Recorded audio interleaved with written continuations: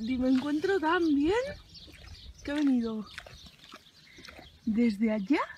andando hasta aquí a comer ¡Qué guay,